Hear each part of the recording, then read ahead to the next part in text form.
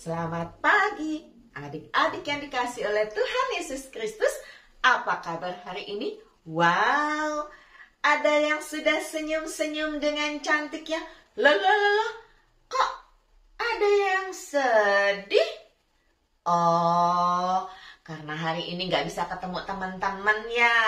Di kebaktian sekolah minggu di gereja kita, nggak usah sedih adik-adik. Kita tetap bisa sama-sama untuk memuji nama Tuhan belajar kebenaran firman Tuhan di Kebaktian Sekolah Minggu Online Bina Warga. Yuk adik-adik, kita bangkit berdiri, kita sapa teman-teman kita yang ada di sekeliling kita dengan halo, hello, hola. Halo, halo, hello, hello, hola, hola.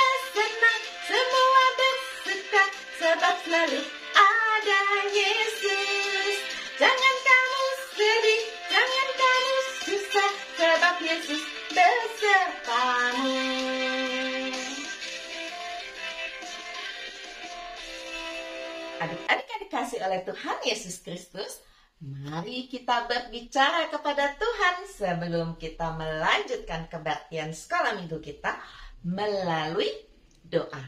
Tuhan Yesus yang baik, terima kasih untuk hari yang indah yang Tuhan berikan. Terima kasih untuk sukacita yang Tuhan limpahkan. Saat ini bersama kami mau memuji dan memuliakan nama Tuhan. Belajar kebenaran firman Tuhan Berkati kami semua, berkati jaringan internet kami, supaya semuanya dapat terkoneksi dengan baik, sehingga kami boleh mengikuti kebaktian sekolah minggu dengan penuh sukacita. Kami juga berdoa untuk Kak Lina dan juga Kak Dina yang melayani pada pagi hari ini. Tuhan juga berkati. Terima kasih Bapak, di dalam nama Tuhan Yesus kami berdoa. Amin.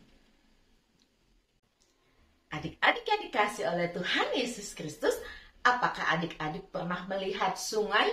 Wah, di Jakarta banyak sungai, tapi sungainya airnya kotor. Tapi di beberapa daerah di Indonesia airnya, air sungainya masih bening. Tetapi bukan soal airnya adik-adik, tetapi adalah sungai itu panjang seperti kasih Tuhan yang sangat-sangat panjang. Yuk adik-adik kita naikkan pujian kasihnya seperti sungai yang terus mengalir, tak pernah berhenti.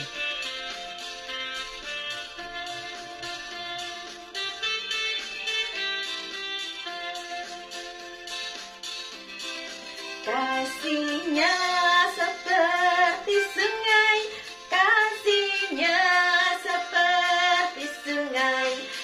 kasihnya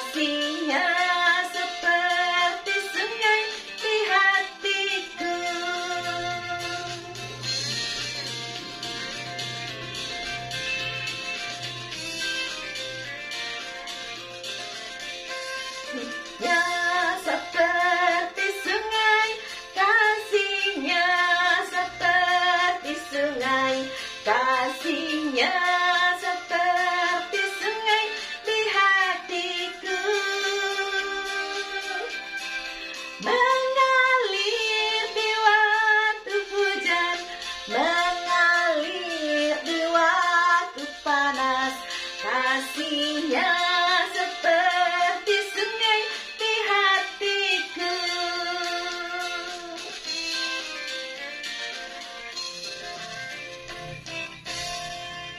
Adik-adik yang dikasih oleh Tuhan Yesus Kristus, Kalina habis nyanyi. Haus adik-adik. Kalina mau minum dulu ya.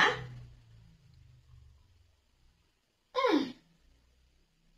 Segar sekali rasanya kalau sudah minum. Tahukah adik-adik bahwa Tuhan Yesus adalah sumber air kehidupan? Oh ya? Mau tahu atau mau tahu banget adik-adik?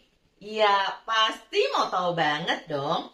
Nah, kalau adik-adik mau tahu banget, pagi ini ada Kak Dina dari GKI Raya Hankam yang akan menyampaikan kebenaran firman Tuhan. Mari adik-adik kita menaikkan pujian. Ku mau mendengar suara Tuhan, kita mempersiapkan hati kita.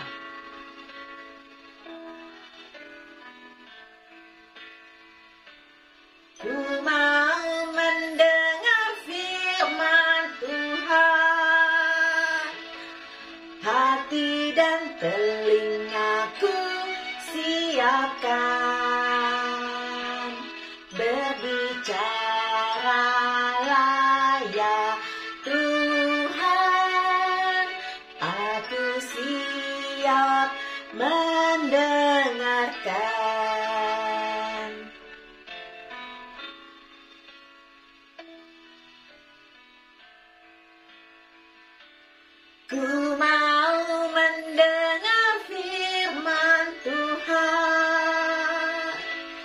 Hati dan telingaku siapkan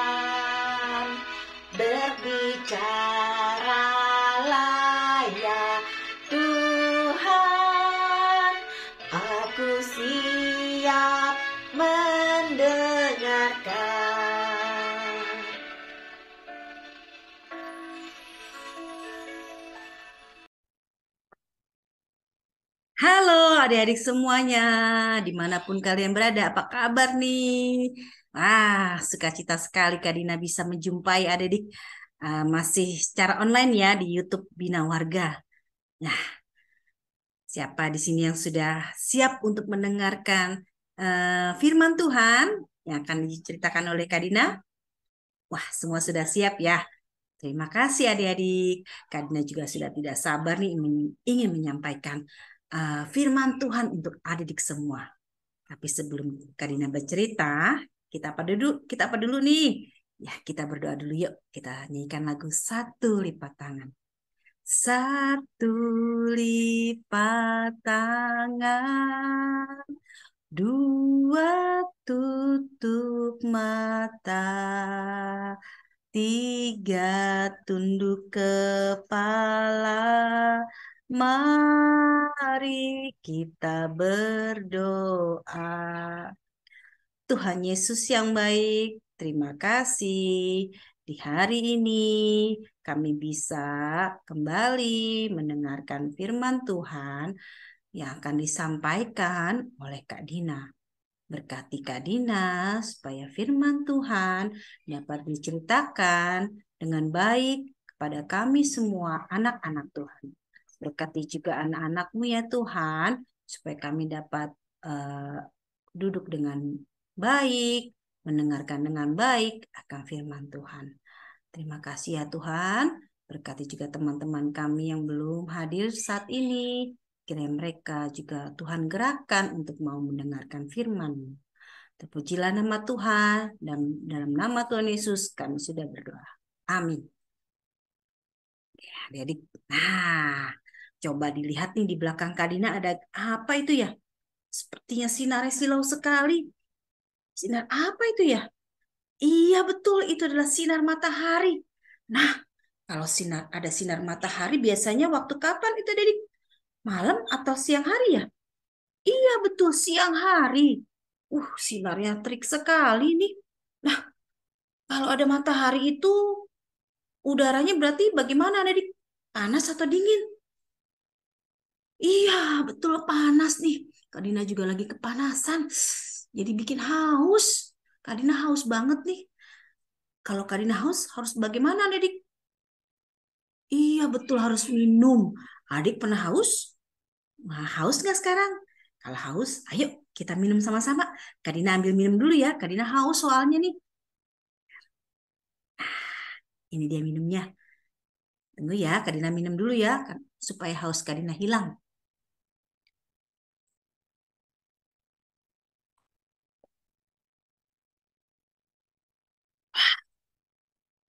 Habis. Hmm, hausnya sudah mulai hilang deh. Puji Tuhan. Nah, adik juga kalau haus harus segera minum ya.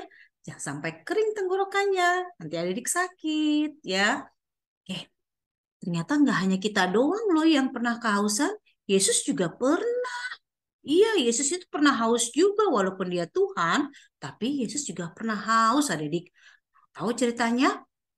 Kalina tunjukkan ya.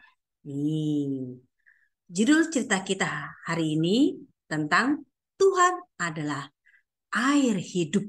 Ya, maksudnya apa itu ya? Di ceritanya ini ada loh di Yohanes 4 ayat 1 sampai 30. Kalau ada di, uh, mau tahu, ada nanti mama yang bacakan di rumah ya. Bisa baca bersama-sama Ceritanya itu dari Yohanes 4 ayat 1 sampai 30. Nah, Kadina sekarang ceritakan nih. Ah, Yesus ini lagi kehausan adik. Dia habis melakukan perjalanan yang sangat jauh bersama dengan murid-muridnya nih. Nah, murid-muridnya juga kelaparan. Mereka lagi pergi meninggalkan Yesus untuk mencari makanan. Yesus duduk-duduk dulu di dekat, tahu nggak adik? Dekat sumur. Ini adalah sumur. Sumur itu tahu Adik-adik, sumur, sumur itu adalah tempat air di mana orang-orang pada zaman dulu itu membuat banyak sumur untuk mendapatkan air. Kalau kita kan saat ini mendapatkan air dari pompa ya, biasanya ada di rumah tiap rumah itu ada pompa air. Nah, kalau orang-orang zaman dulu itu mendapatkan air dari sumur. Kok bisa ya? Nah, jadi air itu diambil dari tanah, ya, di bawah tanah itu ada banyak air. Tuhan juga menciptakan air untuk manusia supaya manusia itu juga tidak hausan, tidak kehausan ya adik ya. Makanya Tuhan kasih air. Air itu ada dalam tanah. Nah, orang-orang zaman dulu itu menggali sendiri, gali sangat dalam sekali, sangat dalam supaya apa? Supaya bisa mendapatkan air yang bersih, air yang jernih. Nah, kalau udah digali nih lubangnya sampai dalam, udah dapat airnya yang bersih. Terus dibuatlah pinggir atas atasnya itu kasih batu supaya ada tanda. Wah itu ada sumur. Jadi orang-orang tahu wah itu ada sumur tuh. Bisa ambil air yang uh, sudah digali di dalam. Nah Yesus tahu ada sumur air. Karena dia suka karena Yesus kehausan. Yesus lagi tunggu-tunggu dulu nih. Barangkali ada yang mau memberikan dia minum. Dan kebetulan di siang hari itu ada di ya tepat pukul 12 siang. Wih, biasanya kalau 12 siang itu matahari ah, tepat ada di atas kepala kita. Adik. Nah, kalau udah matahari di atas kepala kita itu pasti wih, panas sekali. Ya, adik ya udaranya sangat panas, terik. Wanita ini juga kausan. Dia mau mengambil air dan mendekati sumur itu. Yesus tahu ada seorang wanita Samaria yang datang mendekati sumur itu. Kenapa dibilang wanita Samaria? Karena di mana Yesus sedang istirahat ini adalah kota Samaria, kota di mana wanita Samaria itu tinggal, ya. Terus Yesus tanya pada wanita Samaria itu, "Bolehkah memberikan aku minum?" Ya. Tolonglah berikan aku minum, kata Yesus. Wanita Samaria ini kaget. Dia tahu Yesus itu bukan orang Samaria. Dia bilang, Hah? Kamu kan bukan orang Samaria. Kamu nggak ken, uh, aku nggak kenal kamu.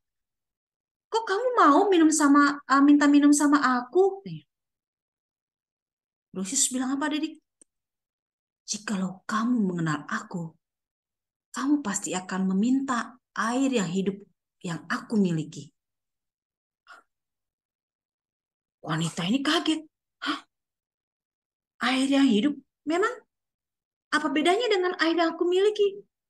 Kamu air kamu dari mana? Apakah kamu punya timba? Apakah kamu punya sumur? Ini adalah sumur milik kami. Inilah milik eh, orang-orang uh, Samaria.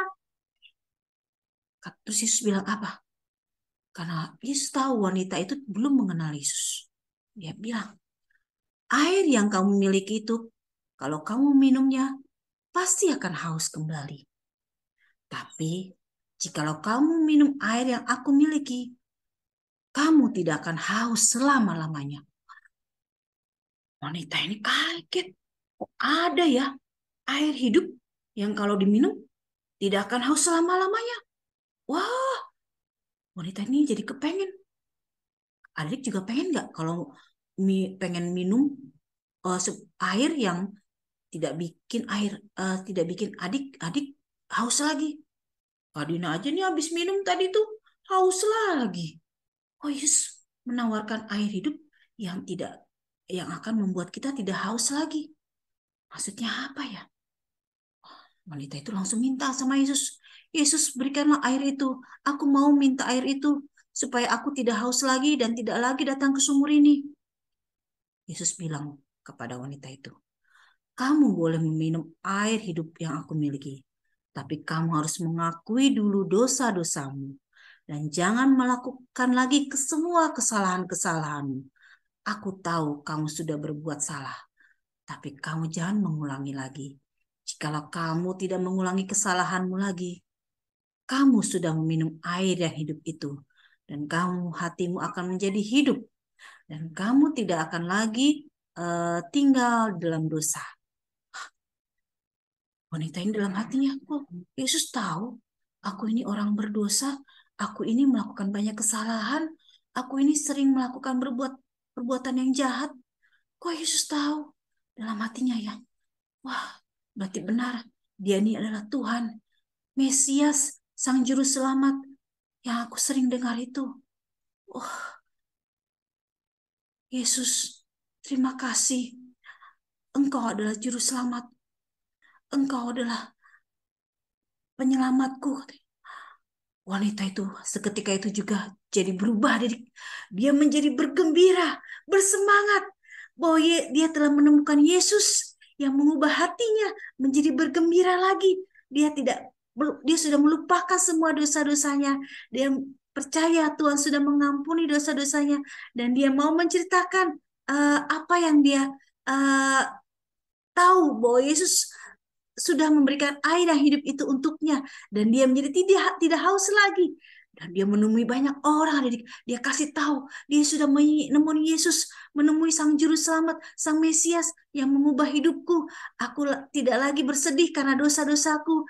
Aku tidak lagi mau melakukan kesalahan-kesalahanku. Sekarang aku bergembira semangat mau melakukan semua perintah-perintah Tuhan.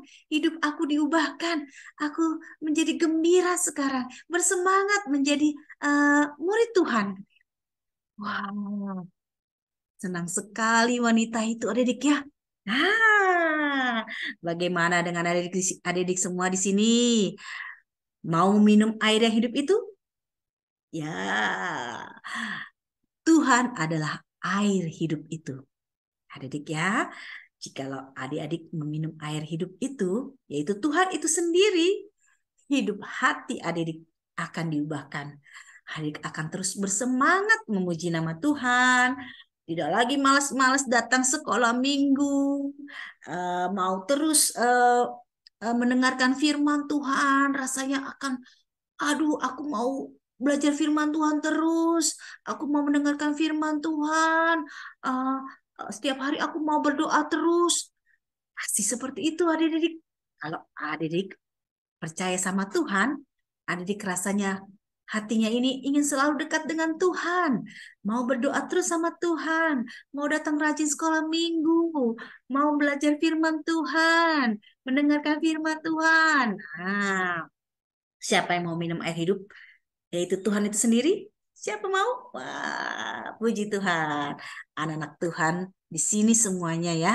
Ah, sekarang kita mau berdoa. Yuk, kita meminta sama Tuhan, bersyukur sama Tuhan sudah menjadi air hidup itu yang mengubah dari semua untuk uh, menjadi anak-anak Tuhan yang mau cinta Tuhan, rajin sekolah minggu, rajin berdoa dan belajar firman Tuhan. Yuk kita satu dalam doa. Kita nyanyikan lagu satu lipat tangan. Satu lipat tangan.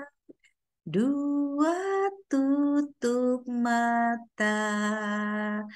Tiga tunduk kepala. Mari kita berdoa. Tuhan Yesus yang baik, terima kasih karena Tuhan adalah air yang hidup. Air yang mengubah hidup kami. Untuk kami selalu uh, mencintai Tuhan.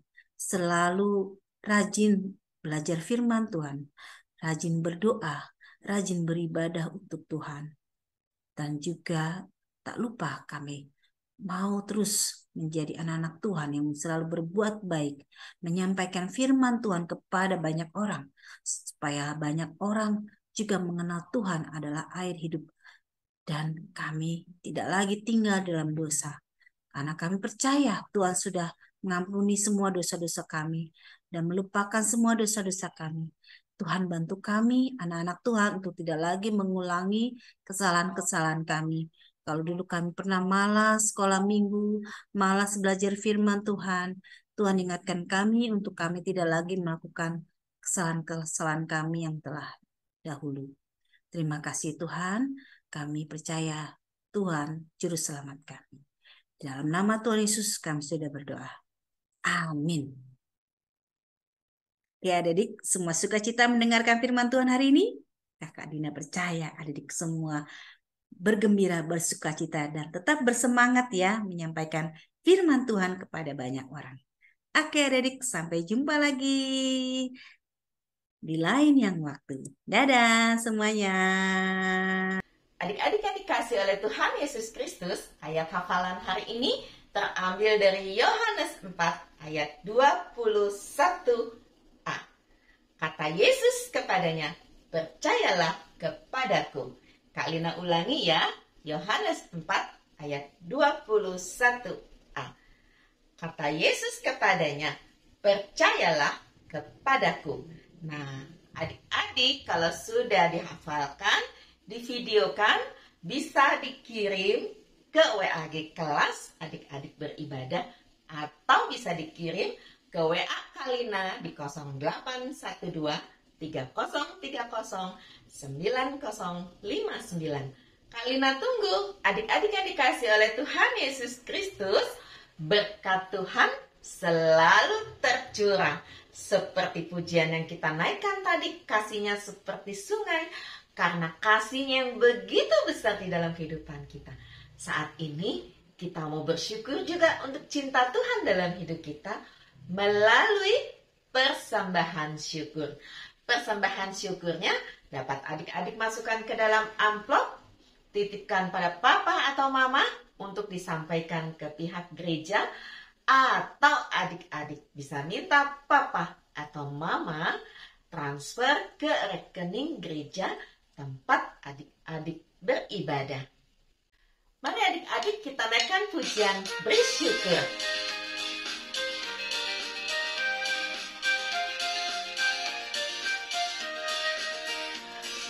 Bersyukur, bersyukur, berilah syukur, bersyukur, susah ataupun senang bersyukur. Panjatkan doamu sepenuh hatimu, kasihnya akan jadi milikmu.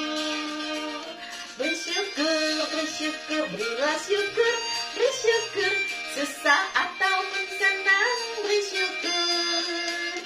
Panjatkan doamu sepenuh hatimu, kasihnya akan jadi milikmu.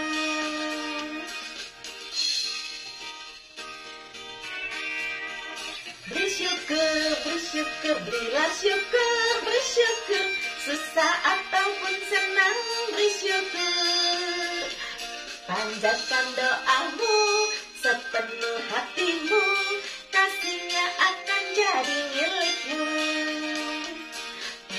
Panjatkan doamu sepenuh hatimu, kasihnya akan jadi milikmu.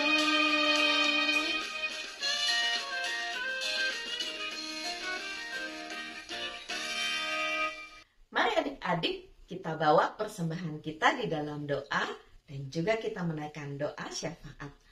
Tuhan Yesus yang baik, terima kasih kalau pagi ini kami boleh ikut sekolah minggu. Terima kasih untuk jaringan internet yang baik. Terima kasih untuk pujian yang kami, naikkan. Terima kasih juga untuk firman Tuhan yang boleh kami dengarkan. Dan kami juga berterima kasih kalau kami boleh mengumpulkan persembahan syukur Kiranya semua yang kami lakukan berkenan di hadapan Tuhan. Tuhan Yesus, kami berdoa untuk keluarga kami. Kiranya Tuhan senantiasa memberkati keluarga kami dengan kasih, damai, dan sejahtera. Sehingga keluarga kami boleh mendapatkan kecukupan di dalam kehidupan dan selalu bersuka cita. Kami berterima kasih untuk kami yang sudah sekolah, karena kami boleh belajar dengan baik, mendapatkan guru-guru yang terbaik, yang menolong kami untuk boleh menambah pengetahuan kami untuk bekal masa depan kami. Terima kasih juga untuk gereja di mana kami beribadah karena kami terus boleh bertumbuh di dalam iman. Kami juga berterima kasih untuk bina warga yang Tuhan pakai untuk kami yang tidak bisa pergi ke sekolah minggu untuk tetap bisa beribadah melalui rumah kami masing-masing. Akhirnya kami juga berdoa untuk bangsa dan negara kami supaya Tuhan berkati, supaya bangsa kami terus membangun dengan baik. Tuhan berkati Pak Presiden Jokowi di dalam memimpin bangsa ini. Terima kasih Tuhan untuk semua cinta yang Tuhan berikan. Di dalam nama Tuhan Yesus kami berdoa. Amin. Adik-adik yang dikasih oleh Tuhan Yesus Kristus, hari ini kita belajar bahwa Tuhan Yesus adalah air hidup. Tuhan Yesus berbicara dengan seorang perempuan dari Samaria dan Tuhan Yesus mengatakan, kalau kita percaya kepada Tuhan Yesus, maka akan terus mengalir air kehidupan di dalam hidup kita. Artinya, kasih setia Tuhan terus melimpah di dalam kehidupan kita. Ayo adik-adik, kita sampaikan kepada orang-orang yang ada di sekitar kita bahwa Tuhan Yesus adalah juru selamat dan Tuhan Yesus mengasihi semua orang dan Tuhan Yesus mau semua orang diselamatkan. Ayo kita katakan Tuhan Yesus adalah juru selamatku. Nah, adik-adik, kita akan menutup kebaktian sekolah minggu kita dengan menaikkan pujian Yesus cinta semua anak. Apa pun suku bangsanya, apa pun warna kulitnya.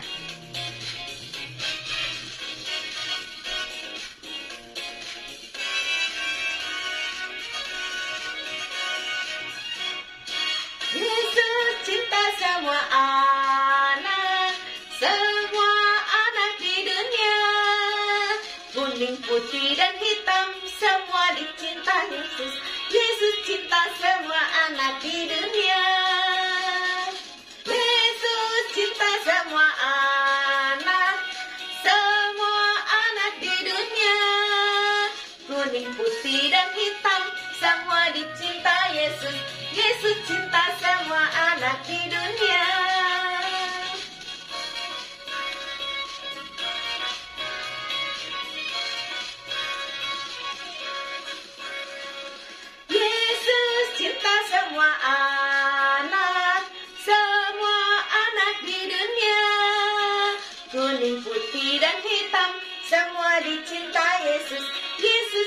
Semua anak di dunia. Yesus cinta semua anak, semua anak di dunia. Kuning, putih, dan hitam, semua dicinta Yesus. Yesus cinta semua anak di dunia. Putih dan hitam, semua dicinta Yesus. Yesus cinta semua anak di dunia.